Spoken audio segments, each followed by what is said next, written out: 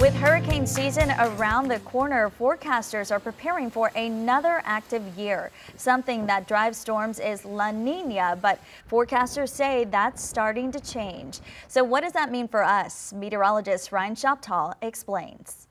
El Nino and La Nina are two different ocean patterns that influence weather across the globe. And after three years in a La Nina phase, the tides are finally turning. Temperatures are warming up, which will have an impact not only on weather here in Texas, but also on the amount of storms we see during hurricane season.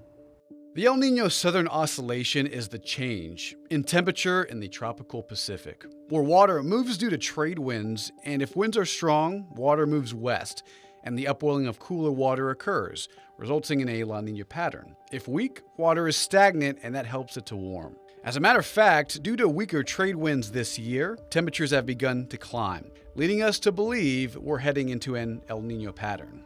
During an El Nino, this typically leads to wetter conditions across Texas and the South, especially into winter. This change also affects hurricanes. And take a look. Over the last eight years, we've endured five La Nina patterns, four of which have produced extremely active hurricane seasons. 30 named storms, which was a record back in 2020. El Nino generally means fewer hurricanes in the Atlantic, whereas in a La Nina, more hurricanes form, courtesy to cooler waters off the coast of Peru.